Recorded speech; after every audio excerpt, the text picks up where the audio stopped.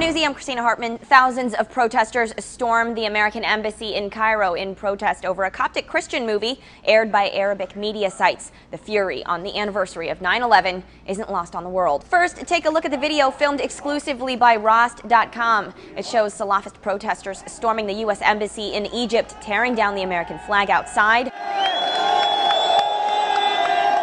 And replacing it with the black flag of Al Qaeda groups. The protesters then reportedly tore the American flag to shreds. CNN had a reporter on the scene who notes this was not an ordinary protest in a nation which has seen lots of them of late. Definitely an, a very uh, a very Islamic looking crowd. We see a lot of men uh, in their traditional garb. Not the usual crowd that we see at most protests. Foreign Policy notes today's protest is a sign of the ongoing tensions between the Muslim and Christian communities. It's hard to watch that video today of all days without thinking of the deep rooted anti Americanism that proved fertile soil for the terror attacks 11 years ago it also evokes memories of the 1979 storming of the U.S. Embassy in Tehran. The Coptic Christian film, which caused the uproar, made its way to the Middle East just in time for 9 11. The Atlantic shares a short clip and calls the movie so offensive it caused today's protests. His name is Muhammad.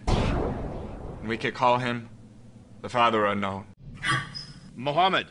Muhammad the Bastard. Your lady summons you. My lady? Ahram Online notes efforts by Christians and the U.S. Embassy to distance itself from such extremist rhetoric proved unsuccessful in turning away the protesters. Various local churches in Egypt have condemned the film in recent days. The U.S. Embassy condemned the ongoing efforts by misguided individuals to hurt the feelings of Muslims and the continued attacks on the religious beliefs of others under the guise of freedom of expression. For Newsy, I'm Christina Hartman. Multiple sources, The Real Story.